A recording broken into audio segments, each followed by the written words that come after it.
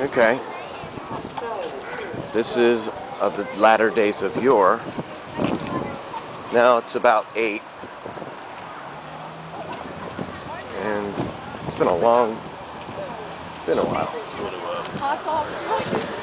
since I uh, out, but I can't stay out for too long.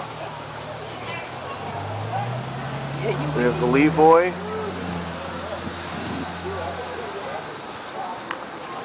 Mm-hmm.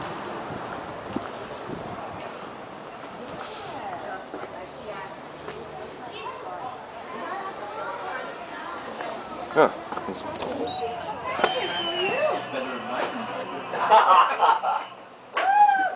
yeah, he, he scared the hell out of me. It's like I lost her.